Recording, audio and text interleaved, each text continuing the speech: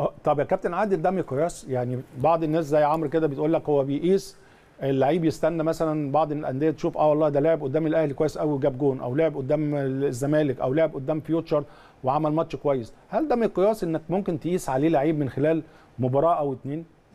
شوف يا كابتن هاني لابد نعمل زي ما العالم كله بيشتغل. طبعا أنت عارف الكلام ده. لكل نادي يبقى فيه ميزانية. الميزانية دي أبقى أنا مرتبط من أول يوم لحد نهاية الدوري إن أنا الفلوس اللي أنا موجودة عندي في في الخزنة أنا لن أتجاوزها.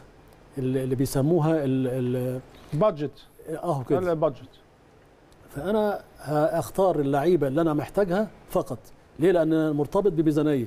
طول ما إحنا في مصر ما عندناش الحتة ديت النادي الوحيد اللي بيقوم بالدور ده النادي الأهلي. معروف الميزانية بتاعته معروف الكورة بتصرف إيه ومحطوط budget بشكل معين ممكن يزيد 10% يقل 10% لكن في budget معين. لل transfer آه بالظبط. إنما زي ما حضرتك تفضلت أبص ألاقي نادي جايب 14 لعيب. طب دول عبال ما ينسجموا هيكون الدور الأولاني خلص. عقبال ما ال- اللعيب اللي أنا جايبه علشان وارد جدا إن أنا أجيب سبع ثمان لاعبين وفي أندية منافسة السنة اللي فاتت جابت لعيبة بليار وشويه ومع ذلك ما حدش منهم نجح نجاح كامل. واحد ولا اثنين بس اللي يا دوبك وصلوا للمرحله إنما الباقي كله ما أداش بال- ال- ال- بالشكل ال- الشكل المطلوب. مستوى الدوري كمان آه، فريق الأعداد لو الجداول بتاعه سوق الانتقالات موجودة يلا ننزل بيها ونبص عليها إحنا ونضيف ونناقشها برضو مع ضيوفنا نشوف رأيهم فيها إيه لأن ال- العملية ال- العملية بالنسبة للسوق المصري بتختلف شوية عن السوق الأوروبي. يعني زي ما أنت بتقول يا كابتن بيكون في budget معين. ده صفقات وقائمه الراحلين مثلا عن بيراميدز خلال الفترة آه، الانتقالات اللي إحنا فيها ديت. طبعا آه، مهند لاشين آه، انتقل من فيوتشر راح للبيراميدز مصطفى فتحي طبعا انتقل من التعاون. آه، يوسف أسامة نبيه انضم من نادي الزمالك هو وسيف فاروق جعفر. آه، مايلي طبعا الكونغولي انضم من يانج أفريكا. عماد ميهوب ده لاعب آه، إنبي أو حارس مرمى أعتقد آه، إنبي.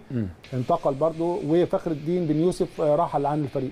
دي قائمة تقريبا بتتكلم 2 4 6 أو 7 8 لعيبة موجود ده آه، على سبيل آه، بيراميدز وال- وما زال لسه الأمور مفتوحة يعني.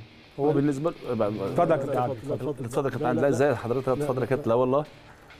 طبعا لسه في صف في أكتر من في صفقات جاية طبعا. آه. في صفقات تانية. فطبعا هو نادي إنبي عنده من اللعيبة ما يكفيه لكن برضو الكلام اللي أنا كنت بقوله إن أنا الميزانية بتاعتي مفتوحة. طب أنا بدفع 10 قروش. ال 10 قروش دول أنا المفروض إن أنا كنادي استثماري المفروض إن أنا ال- ال- ال- الم- المدخول اللي جاي لي يبقى المفروض أكتر لأن أنا مستثمر.